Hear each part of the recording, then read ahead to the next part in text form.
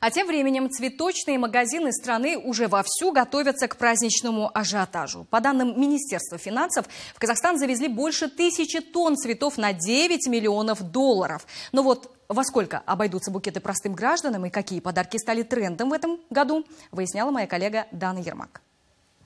В преддверии 8 марта в цветочных салонах традиционный ажиотаж. Праздник еще не наступил, а в цветочных магазинах уже очереди. По словам флористов, топ самых продаваемых цветов – это розы, хризантемы и, конечно же, тюльпаны. Сейчас мы соберем одну такую композицию. Можно мне, пожалуйста, эти цветы? Спасибо. Чтобы собрать такой красивый букет, флористам обычно требуется 10-15 минут, а в праздничные дни приходится ускоряться и тратить на композицию не больше 5 минут. Минимальная цена букета – 11 тысяч тенге. Кстати, в преддверии праздника цветы подорожали более чем на 20%. Как только приходит к нам цветок, э, в этом году он пришел в начале месяца, мы стали уже делать какие-то заготовки, там какие-то коробочки, подготавливать оазис, там корзины, все. Готовить цветок к продаже. Ну, все, подготовка прошла у нас, проходит до 5 числа, и уже 6 числа мы уже интенсивно начинаем уже работать на покупателей. Ну, ради своих дам мужчины не скупятся. Представители сильной половины мы встретили с целыми списками подарков на руках. Коллективу, жене, э, теще, матери, продавщице из киоска. Шутка. Дарим радость.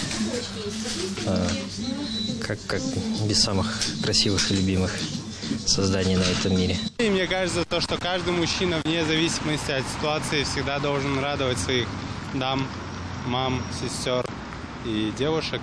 И не только по праздникам. Спрос на импортные букеты в Казахстане вырос, отметили в Комитете государственных доходов. За последние два месяца в страну везено больше тысячи тонн цветов. Это значительно больше, чем годом ранее. По итогам э, таможенной статистики э, можно сказать, что э, за январь-февраль 2023 года в Казахстан завезено из-за рубежа 1341 тонна цветов. Это около 25 миллионов бутонов стоимостью 9,5 миллион долларов США.